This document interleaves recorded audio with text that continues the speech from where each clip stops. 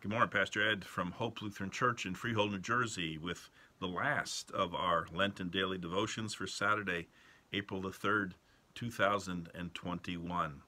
Uh, again, we'll have one last chance to listen to Pastor Eric Burtness uh, look at a question that uh, uh Jesus asked um, after his resurrection uh, on on Easter morning and uh, how that applies to our own lives. The reading is from the 20th chapter of John, uh, verses 19 to 29. When it was evening on that day, the first day of the week, and the doors of the house where the disciples had met were locked for fear of the Jews, Jesus came and stood among them and said, Peace be with you. And after he said this, he showed them his hands and his side. And then the disciples rejoiced when they saw the Lord. And Jesus said to them again, Peace be with you. As the Father has sent me, so I send you. When he had said this, he breathed on them and said to them, Receive the Holy Spirit. If you forgive the sins of any, they are forgiven them. If you retain the sins of any, they are retained. But Thomas, who was called the twin, one of the twelve, was not with them when Jesus came. And so the other disciples told him, We've seen the Lord. But he said to them, Unless I see the mark of the nails in his hands, and put my finger in the mark of the nails and my hand in his side, I will not believe. A week later, his disciples were again in the house, and Thomas was with them. Although the doors were shut, Jesus came and stood among them and said, Peace be with you. Then he said to Thomas, Put your finger here and see my hands. Reach out your hand and put it in my side. Do not doubt, but believe. And Thomas answered him, My Lord and my God. And Jesus said to him, Have you believed because you have seen me? Blessed are those who have not seen and yet have come to believe. Again, this is the final question that we have in our look at Beyond Question, all the questions Jesus asked during his ministry. It's the story of Thomas, the well-known one. Thomas, uh, uh, the, the doubter, probably gets a little bit of a unfair reputation as some people have noted that I'd like to share before we get to what Pastor Burtness wrote. Uh, of course, this year, um, Maundy, Thursday fell on April 1st, which is April Fool's Day. Um, and of course, we've probably all heard about April Fool's jokes or pranks. Um, as kids, we did them. I, my family used to do them to me terribly. Um, and we kind of get sucked into them, even even though and I used to do this. I used to prepare myself as much as possible to be on my guard, and, and I would still get uh, tripped up. But sometimes these April Fool's pranks or jokes were done on a national scale. Uh, for instance, on April 1st, 1996, the Taco Bell Corporation took out a full-page ad that appeared in six major newspapers announcing that it had bought the Liberty Bell and was renaming it the Taco Liberty Bell. Hundreds of outraged citizens called the National Historic Park in Philadelphia, where the bell was housed, to express their anger. Their nerves were only calmed when Taco Bell revealed a few hours later that it was all a practical joke. The best line of the day, however, came from came when White House Press Secretary Mike McCurry was asked about the sale. And thinking on his feet, he responded that the Lincoln Memorial had also been sold. It would now be known as the, the Ford Lincoln Mercury Memorial. Then a couple years later, on April 1st, 1998, Burger King published a full-page advertisement in USA Today announcing the introduction of a new item to their menu, a left-handed Whopper, specifically designed for the 32 million left-handed Americans. According to the advertisement, the new Whopper included the same ingredients as the original Whopper, lettuce, tomato, hamburger patty, etc., uh, but all the condiments were rotated 180 degrees for the benefit of their left-handed customers. The following day, Burger King issued a follow-up release revealing that although the left-handed Whopper was, in fact, a hoax, thousands of customers had gone into restaurants to request the new sandwich. Simultaneously, according to the press release, many others requested their own right-handed version. People are still falling for hoaxes uh, every day, uh, especially due to the power of the, the internet and social media like Facebook. Fake stories appear quite often, often mislead a lot of people. It causes many people to say of course, I'll believe it when I see it. Well, according to David Simpson, such skepticism is not new. In fact, there's, he says, a well known disciple of Jesus who was quite skeptical about the news that Jesus had conquered death and come back to life. Because of his skepticism, we call him, of course, Doubting Thomas. Thomas did not want to be called a fool. He did not want to be pranked. When told about the resurrection of Jesus, he said these famous words as recorded uh, in John 25 about unless I put unless I see his hands, unless I put my uh, finger in his side, I will not believe. So the other disciples told him, We've seen the Lord. But he said, Unless I see the nail marks in my hands, put my finger where the nails were, put my hand in his side, I will not believe.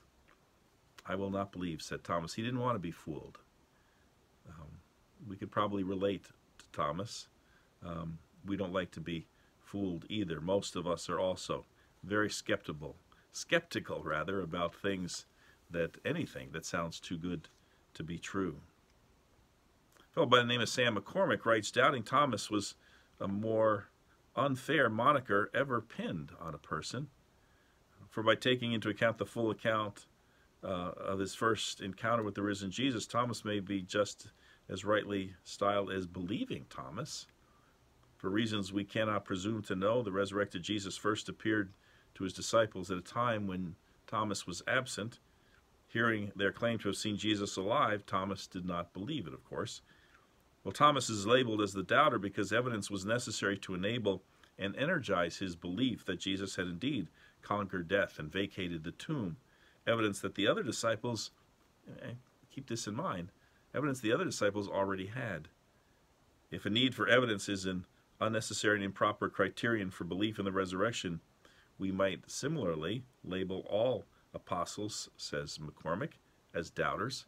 For Mark reports that when Mary Magdalene reported to them that she had Jesus that she had seen Jesus alive, they too refused to believe it. And then a fellow by the name of uh, Mark Stevenson um, writes, The most famous doubter of all time is Thomas. Uh, through history, Judas has been the only disciple criticized more than Thomas.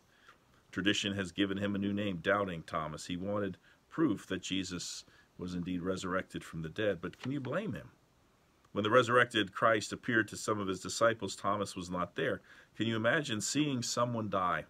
Knowing he was buried and then hearing from friends that they'd seen him alive, you might feel sympathetic toward them, expecting them to get over it in time if they keep telling you on and on and on. You might feel the need to confront them. That was the situation faced by Thomas. In recent years, many Christians have been more sympathetic to Thomas, however. They've recognized that if they had been in the same position as he was, they may have had the very same doubts. In his position, um, I have no doubt, Mark Steverson is writing here, uh, that I would have been a doubter. My nickname might have become Doubting Mark. And then he quotes devotional writer Selwyn Hughes, who writes, Those who doubt most and yet strive to overcome their doubts turn out to be some of Christ's strongest disciples. Thomas was transformed, saying, My Lord and my God. And that does not hit us as powerfully as it would have hit the original disciples because you see, before that day, they called Jesus rabbi, meaning teacher, of course. They called him Christ, meaning the anointed one. They called him the Son of the living God. But no one, no one before Thomas had ever called Jesus God. Jewish leaders would have not hesitated to pass the death sentence on Thomas for blasphemy. It was an incredible and dangerous thing to say. The Bible says that the one who had been most honest about his doubts was the first to call Jesus God. Isn't that interesting? There are traditions that say he was also the disciple who traveled the furthest to tell others about Christ. Tradition teaches that he proclaimed the gospel in Babylon, Persia, and all the way to India. There are Christian churches in southern India claiming to trace their heritage directly back to Thomas. Well, this Mark Steverson writes three weeks ago, when he's writing this, a Christian from India shared a testimony uh, with his church.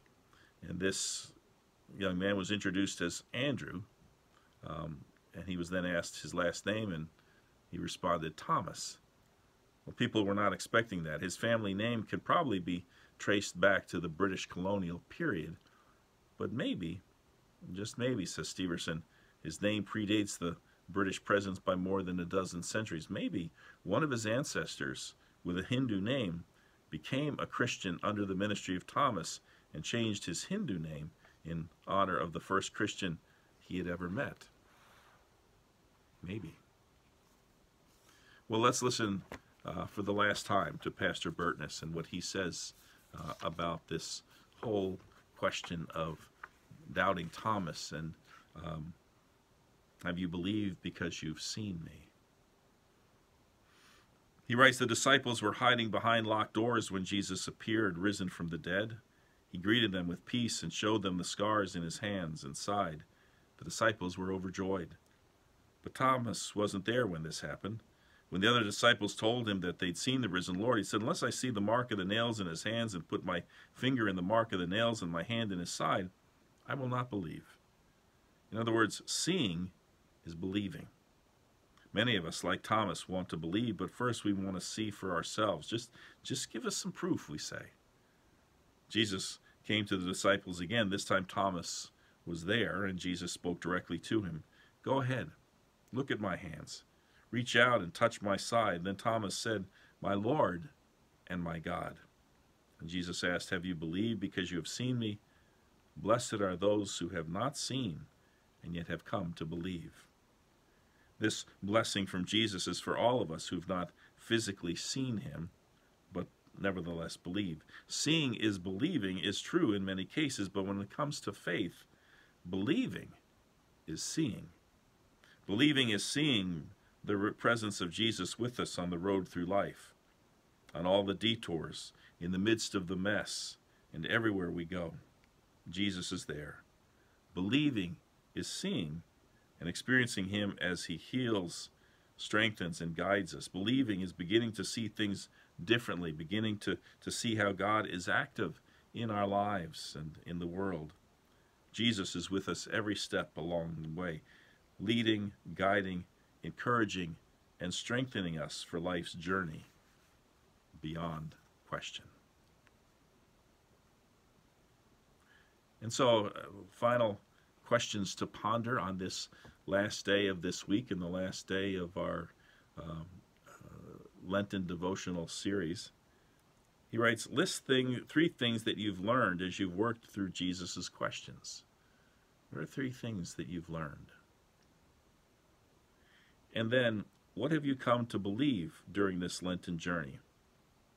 And perhaps more importantly, how might you share this with someone else? Because again, the point of, of faith is not merely to, to change our lives, but, but faith also compels us, propels us, if you will, uh, to go out into the world and share it with others. Now, not everybody is going to become an evangelist, not everybody is going to become a, a missionary, uh, but there are small ways, little ways, humble ways that we can bear witness to Jesus in our lives, and not just how we live our lives, but also the things that, that we say and the example that we set. Well, let's close out this week and uh, the end of our Lenten devotions with prayer. Thank you, Lord Jesus, for all you have done. Thank you for leading me into deeper discipleship through your questions. Help me believe, help me see, and always draw me close to you. Thank you, Lord Jesus, for everything. Amen. Well, tomorrow's Easter. And so we have at 9 o'clock, as I've been saying uh, all week long, at 9 o'clock we have our usual live streaming service. And then, weather permitting, and it's still looking pretty good, um, we're going to be outdoors uh, for our uh, at 11 o'clock um, for a uh, an outdoor service, a traditional ELW uh, worship service. And um, if the slight chance that there would be uh, inclement weather where we couldn't be outdoors at 11 o'clock, what we'll do is uh, Josh and I and uh, and Ashley and Michelle will will stay indoors and we'll live stream that traditional service at 11 o'clock. So one way or the other, we're going to have services at 9 and 11. 9 only live streaming, 11 o'clock outdoors. But if we can't be outdoors, uh, we will we will we will come indoors. You'll be able to stay home, and if that's the service you choose, and we'll do a live streaming service uh, of that 11 o'clock uh, ELW traditional service. So those two opportunities. And then um, Monday, of course, we start all over again. Uh, I'll have Cheryl send out the Taking Faith Home inserts so that um, you can follow along with the daily Bible readings as we kind of resume um, the pattern that we had uh, prior to Lent. And so I'm looking forward to continuing our daily devotions with you uh, beginning on, on Monday, uh, April the 5th. Until then, take care, be well. Bye.